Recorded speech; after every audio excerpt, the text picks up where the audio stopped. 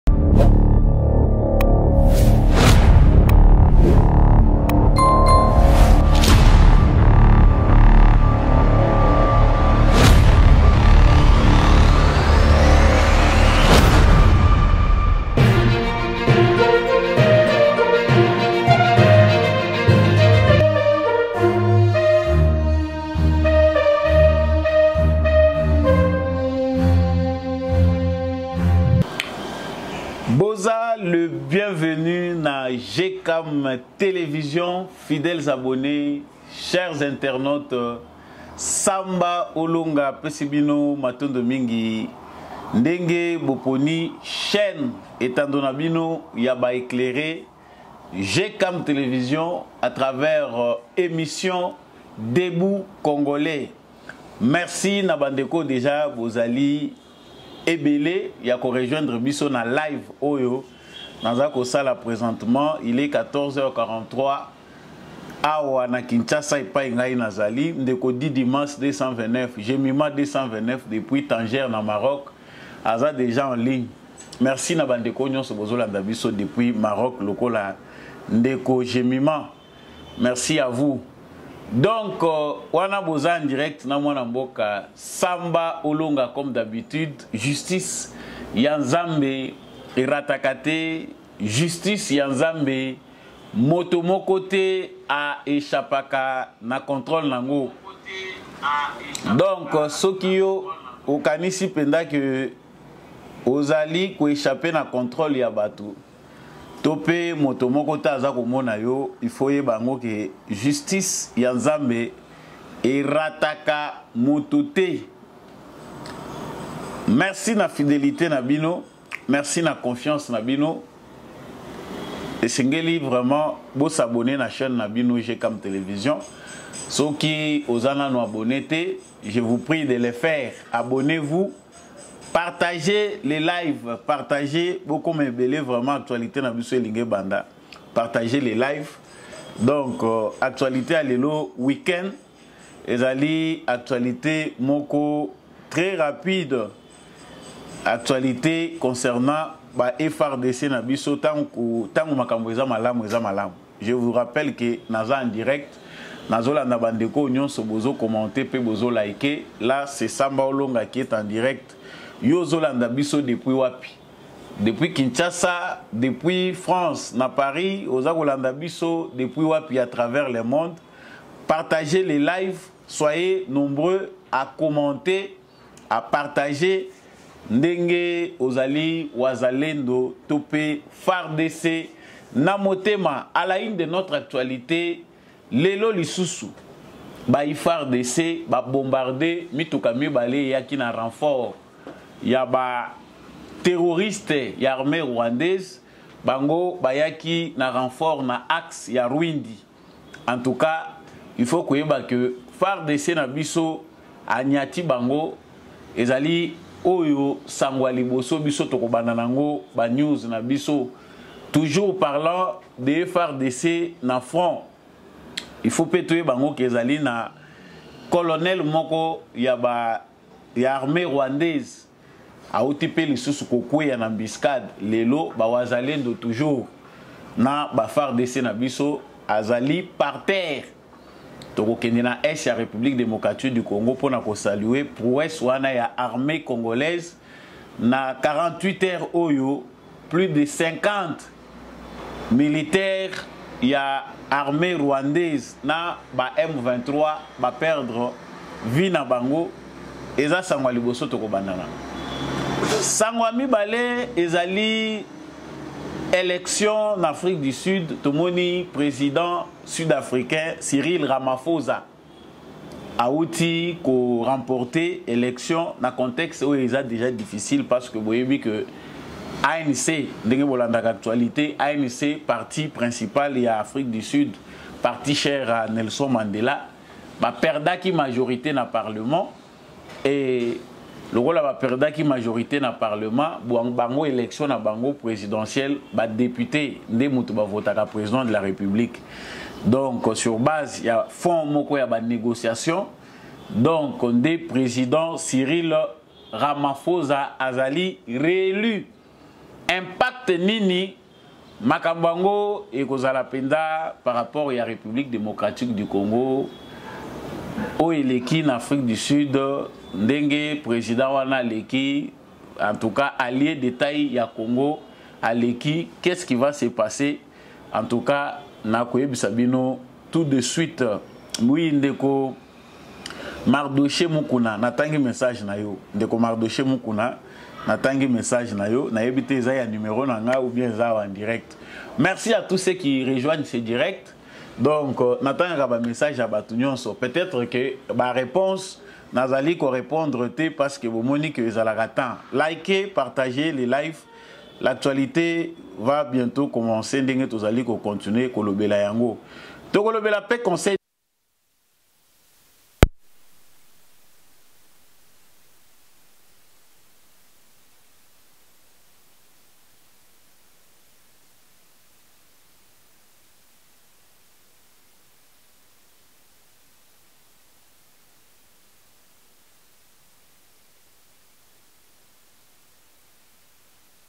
Tshisekedi apesi udps mukongo tozolobela yango na émission oyo ya kobomba ezali te donc euh, yo mpe ezalaka wana na bacommentaire na yo partagez les lives abonnez-vous si vous n'êtes pas encore abonné sur cette chaîne je vous prie de vous abonner commencez par vous abonner et là on est déjà ensemble avec tous ceux-là qui sont en ligne en direct voilà justice ya nzambe erataka te justice ya nzambe moto moko te aechapaka na contrôle nango merci na bandeko oyo nyonso bozolanda biso depuis luanda bandeko bozolanda biso depuis france bozolanda biso depuis bukavu bozolanda biso depuis lubumbashi yo mpe yebisa biso ozolanda biso depuis wapi vraiment merci na ndeko azolanda biso depuis mbujimai bandeko oyo nyonso bozolanda biso depuis mbujimai lokola Ndeko Sony Andre Mwepu, oui, vous êtes en direct. Nazongi na actualité parce que c'est l'actualité qui compte. Lelo na tongo ya lelo armée congolaise et réussir ko neutraliser lisusu ba officiers mitano ya armée rwandaise baofficier wana mitano bazalaki na renfort bazoya mituka mibale ya renfort bazoya mpona korenforce position na bango na axe ya rwindi bainformation tozwi ezali kotalisa ke fardc apiége bango na embuscade c'est-à-dire soki boyebi mituka eza mibale bajip vous devez déjà savoir combien de militaires bakoki kozala kuna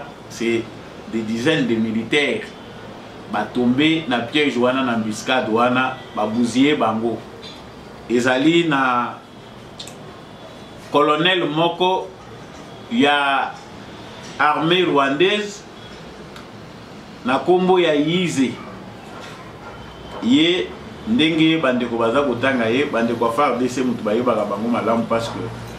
balandelaka bango bayebi koidentifie nani komanda wana hiro teo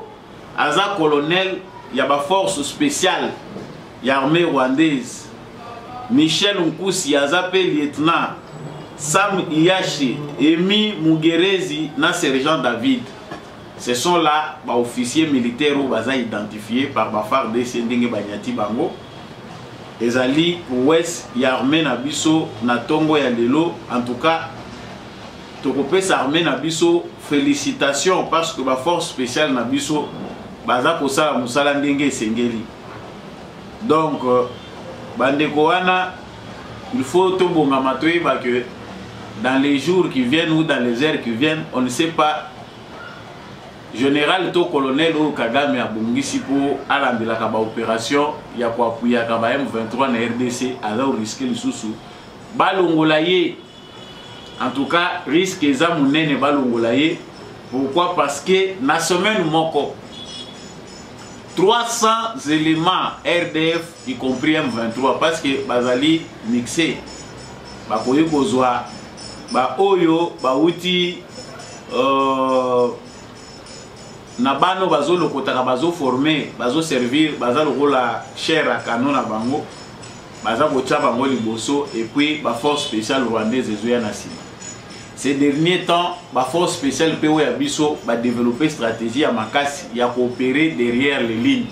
bato bayebi makambo ya armée bayebi ndenge nini elekaka donc koopere derrière, derrière baligne ezali que ennemi soki akoti aza na intention ki apusanaka aya kofrapaka baposition ya arme na biso alors baza na kati ya kosurprendre bango pendant ke bango bazoya koatake bisika baposition arme na biso ezali on les surprend par nos forces spéciales bayibu bagepard En tout cas, boyebi ba combo ba force spéciale na biso ebele, ba ko surprendre bango derrière les lignes. C'est-à-dire bango ba ye koto yo bakutani na résistance na sima pe baza ko nyefuta bango. Ça c'est une bonne information pour ce matin. bato mosusu bakomona yango ke ezali kaka information moko tozwa yango un peu à la légère parce que tosi tomesana koyoka ke armée na biso eh, et bundaka ou bien to perdre ba localité et que l'armée ne fait absolument rien ezali important merci na bandeko oyo bozali kolanda biso ndeko matondo amour merci mingi na depuis mongafula ndeko bicha mami depuis canada bandeko bozolanda biso depuis canada merci à vous on est ensemble ndeko roger luther fanikisi lutelu on est ensemble donc nalobaki ke mikolo oyo nyonso vous êtes avec samba olonga en direct l'actualité je réponds bandeko oyo nyonso bozokomelaka ngai toza na bino ensemble mais l'important c'est commencer à liker bokoti na live pamba te on donne l'actualité vous likez aussi c'est ça aussi le principe ya baréseaux sociaux vous likez bozo partager partager les live partager vraiment les live eza plus important donc euh, je disais que l'armée congolaise azali kocontinue kofina bamilitaire rwandais oyo baza kocontinue kosazarde ye na ngambo na ye azobongisa baélection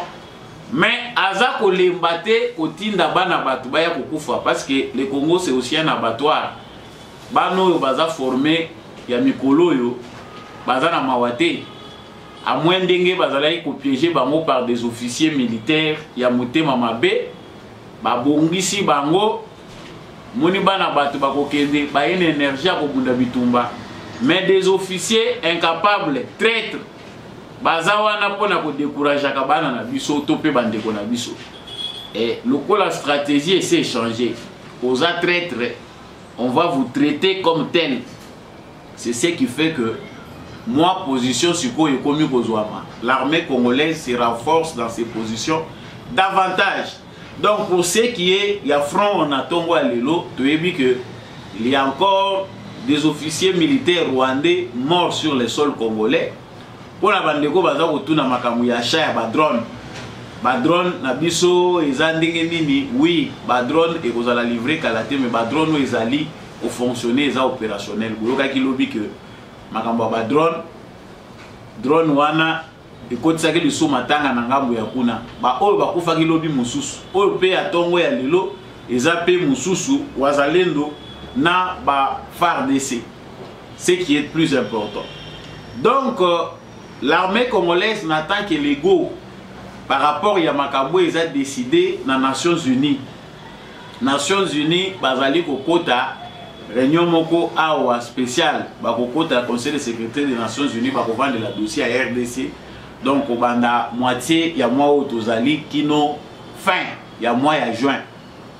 le mois de juillet il n'y aura pas d'excuse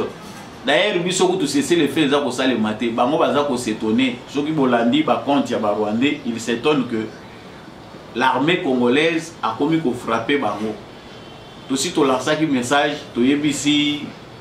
euh, chef ya maison militaire ya président de la république ye moko mpe président de la république état major maye basoda baza kobanza balobi morale eza likolo tozolia lokola tozalaka na ndako mai toyaki te mpo tosakana mpo omoni bamilitaire mpe bakomaka na impression soki azoboma bato mingi aza komona ke makambo ezoovanse soki azoboma te aomona mpe ke makambo eza koleka malamu te donc comprend qui veut na ntongo ya lelo bainformation eza malamu sango ya mibale na kolobela awa ezali makambo eleki na afrique du sud mpo na baoyo bolandaki déjà euh, na afrique du sud président sud-africain aza réélu Le président Cyril Ramaphosa, malgré déception ya parti politique na ye ANC, parti politique na bango, azali réélu na parlement na bango. Eza réélection moko difficile parce que ANC soki a réussir ko imposer ye lokola président de la République ezali stratégie ya collaboration donc ba jouer sur expérience na bango na ba alliés mais ANC ye moko azalaki na majorité te rassurante comme d'habitude biso mpe na ngambo na biso wi ndeko dede dode mvwenga ndeko ahmed mokengela bonsoir na yo mpe bonjour na ndeko dode biso na ngambo na biso na barwandais tozalaki ko se jauger tozotala ce qui sera ces élections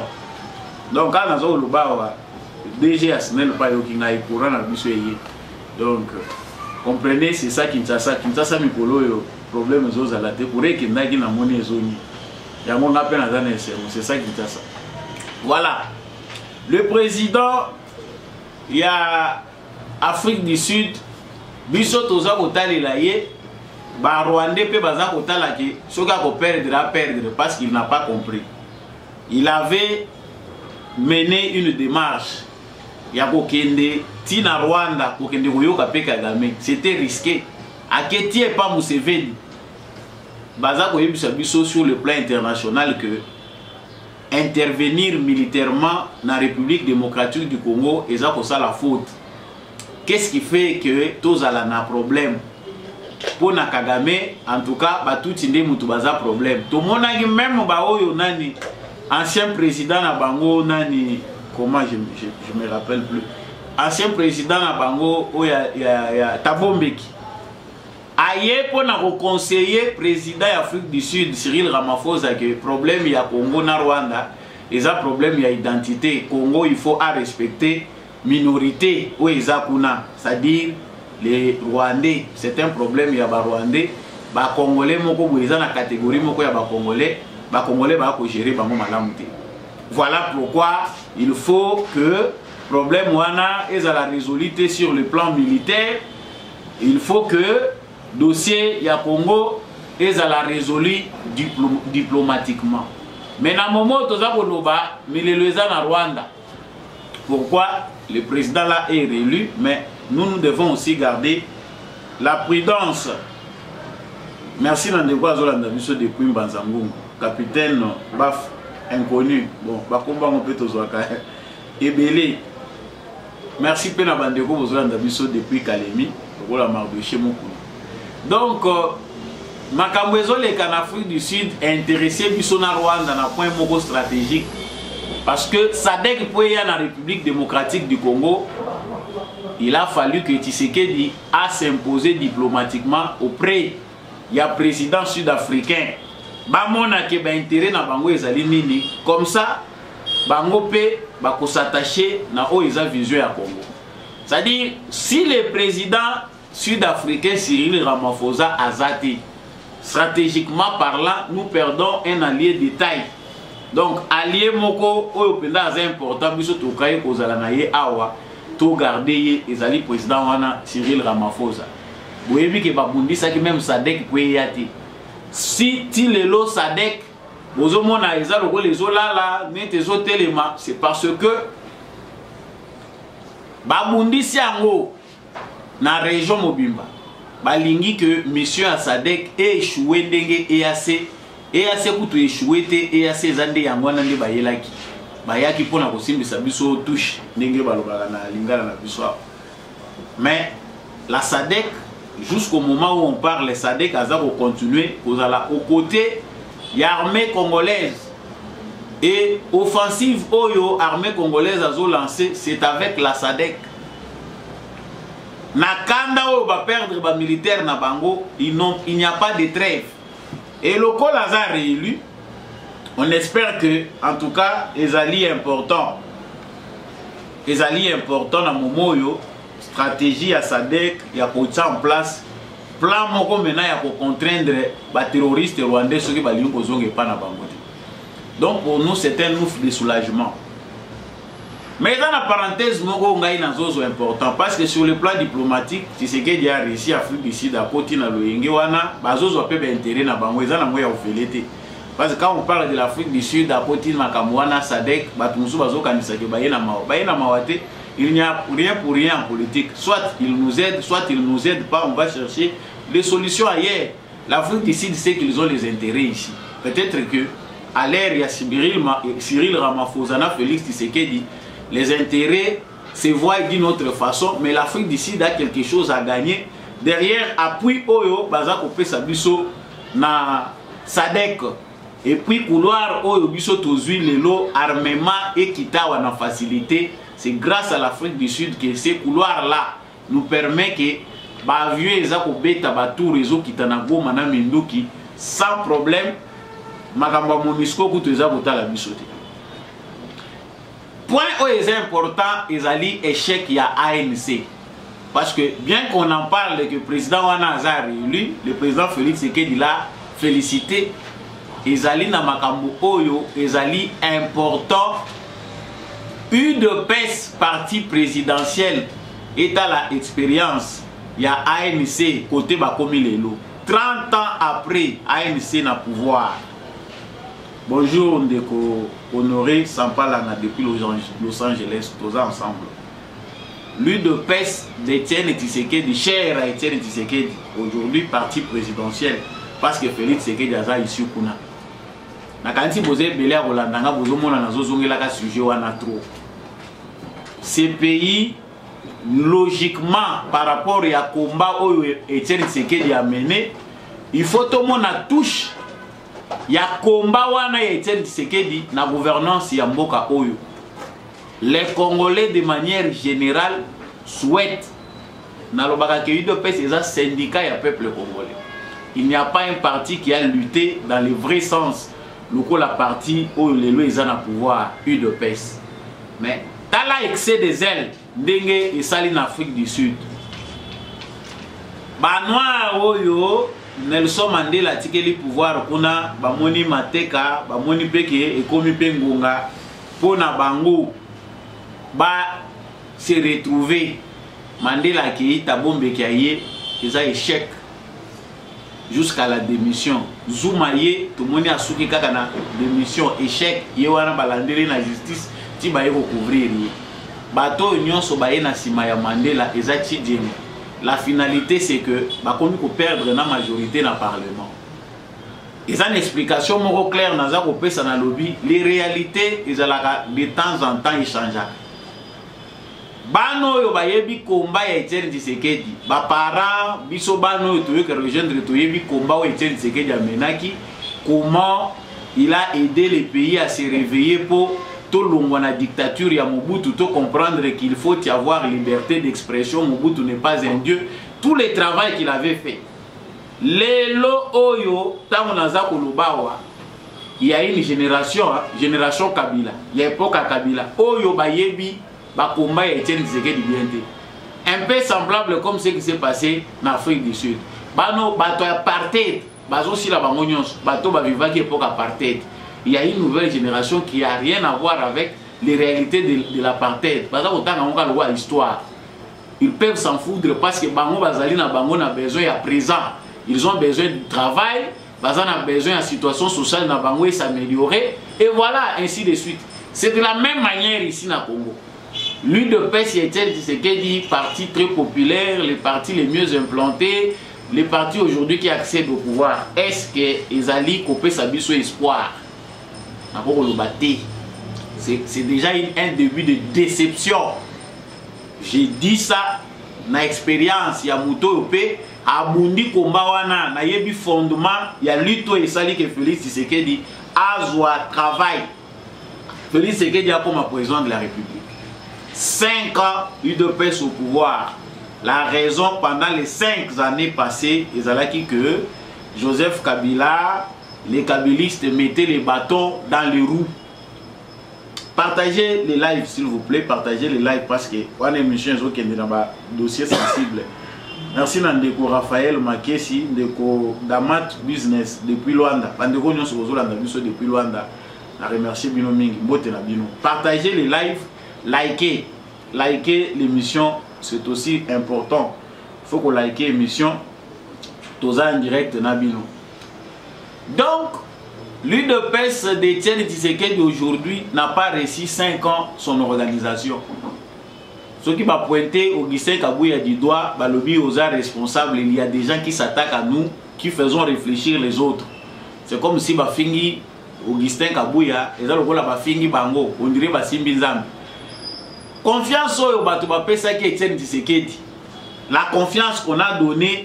a Etienne Tshisekedi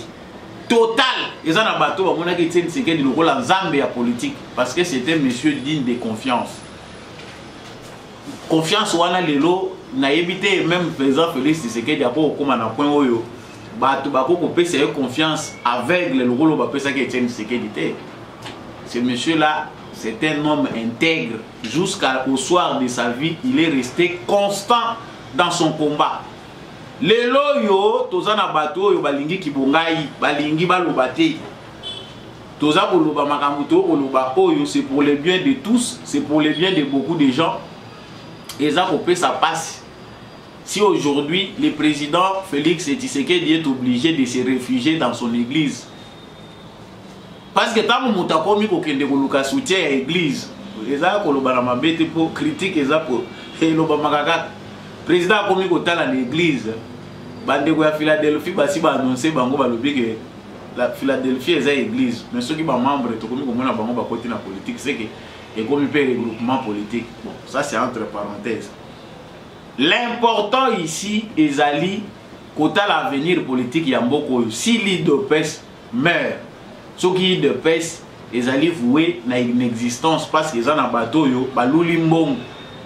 bamoni pouvoir bamoni ke c'est le moment de s'enrichir c'est le moment d'avoir la gloire bamona yo tout puissant ya régime mais pourtant bato oyo bamene komba wana basouffrir baza abandonne meme pas le minimum d'organisation ekoki kosala ke moto na moto azala na esika na ye seke bozokomisa eloko wana ekomi eloko moko hmm? ezali mpasi ezali mpasi mingi le directeur de cabinet du président ya félix tshisekedi e cabinet ezalaka privé mais na cabinet banomaka soit membre ya famille politique soit membre ya famille biologique mais oyo ekeyi ndenge ekeyi wana quel est l'avenir pour l'udps avenir ezali nini oyo biso nyonso tokoki kolobela awa pour les partis présidentiels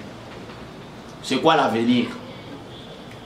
les gens ne veulent pas qu'on en parle ah esi esalami Est-ce que eza condamné Tshisekedi est libre de le faire Oui, il est libre, il est le président de la République. moto moko akoki kotelemela décision na ye te mais batalaka kaka na nsima koto ozowuta est ce que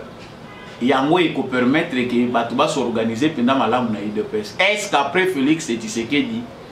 udps cher etienne tshisekedi ekozala parti moko ekoki korassure biso ke mboka ekotambola mpenza na idps ewumeli tokokisi mpe mikolo ebele ça fait pleurer parce que nous savons comment etienne tisekedi a souffert na eloko oyo dans la chair bato ebele babandaki na ye bakokaki te manque ya constance idps eza bien privé ya bato te pour que certains puisse se prévaloir bakoma ondire bango nde badesider non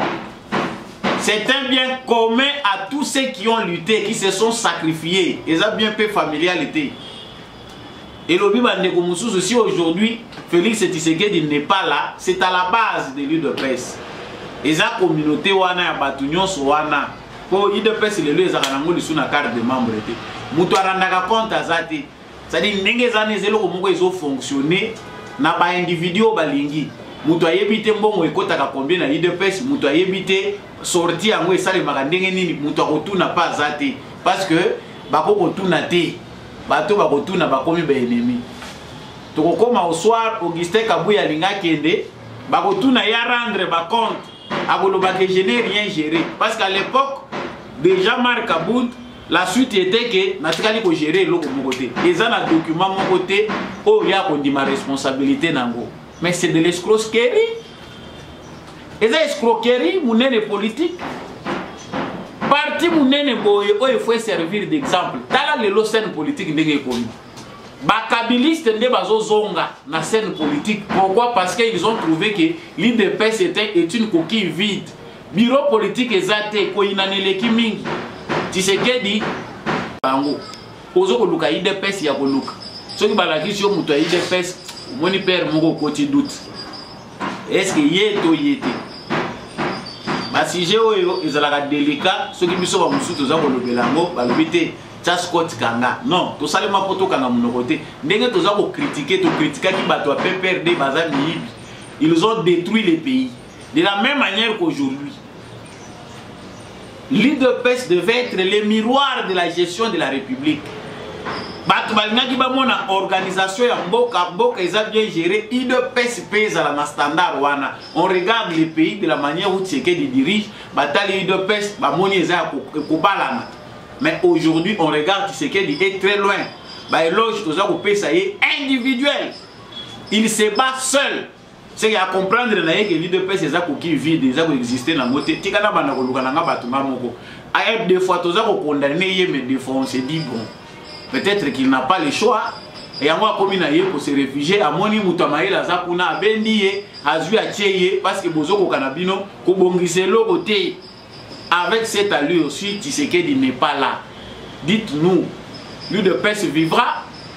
Est-ce que vous avez la partie politique To ekokoma nango eloko ya batu ba individu. Ce que osali omoni pe que ezoko simba te. Non, tout ça c'est parce que le président Félix Tshisekedi apesi atiki parti na maboko ya bato bazokoka charge oyo te etienne tshisekedi était en vie il était en vie alobaki parti oyo boza kosakana na yango oyo si je ne suis pas là idps ekokoma ingouvernable bokoka kogere yango te aujourd'hui kabuya gere limete aza kogere kaka mwa groupe ya bamilitant oyo baza na limete est ce qu'il peut nous dire réellement l'état la santé de l'udps sur toute l'étendue du territoire national toutes les fédérations de l'udps santé na yango eza ndenge nini bato baza oblige na moment oyo makambo ya udps esi ebayisa na bato udps est un parti qui perd en crédibilité image ya udps ezali kobeba sel moto oyo akoki kosauve image ya udps etikali tisekedi ye moko mais c'est comme si akomi koboya nde makambo udps ekomi charge eza kotya ye mpasi mpo aza président de la république organisez vous moyen ko s'organiser eza te chacun s'occupe de ses intérêts yebisa ngai biso tozala ba porte parole te tozala ba porte voix te ya, ya ba sans voix mpo na koloba ce qui se passe mais ça sera un crime organiser les choses soki okambi omoni kokomi limité pourquoi on change les gens okozala mpo osalaki na yo malamu mais bamoni ke na point na etiele tisekedi tisekedi va aussi passer mais c'est dans quel ordre ekotikala ndenge nini makambo wana eza makambo important oyo esengeli toloba boremarke ke actualité na biso ya mokolo ya lelo ezokende na suka ngai eloko naa kosenga na bacongolais eza tozala angele classe politique na biso etondi na bato oyo conscience ezali moke mais soki peuple azali ya kotelema nakanisi mpendaki bapoliticien bakozonga na place na bango merci na ndeko jimi kisamba merci na ndeko ramiro domingos arthur damat business raphael makesi papa honore sampalanga mardoche mokuna capitaine baf ahmed mukengela merci ya roger luther fanikisi dode mvuenga bicha mami depuis le canada matondo amo mardoche mukuna tous ceux qui nous ont suivi en direct sambolonga aza koremercie bino mingi merci na fidelite mpe confiance na bino émission ya lelo week-end ekomi na suka na souhaite bino bon week-end à travers le monde entier na kolanda émission oyo debout congolais tokose retrouver semaine prochaine na émission mosusu merci na l'homme de la vérité de la vérité des urnes jean-louis timbalanga merci à papa apôtre gérard euh, kabeya tchovo merci à papa michel lumakaso papa fredi ngwama merci à lui merci na oh, papa boniface mpunga papa maurice kikangala mama bill bilonda mama lisette mumbendu mama nimasamba et tous ceux qui soutiennent cette émission debout congolais on reste debout tolemba te bendele ekweya te fardc na motema wazalendo na motema tokutani en direct prochainement